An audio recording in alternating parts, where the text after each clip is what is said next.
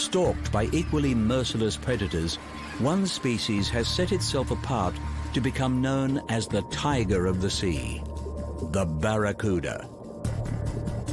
The sleek, snake-like barracuda is one of the pelagic's apex predators. Growing to over two meters in length, aside from killer whales and sharks, the only species ferocious enough to take on a barracuda is another barracuda.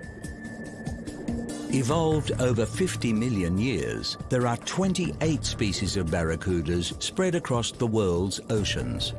While they can be found just about everywhere, barracudas display a preference for tropical and subtropical seas, which provide them a greater abundance of prey.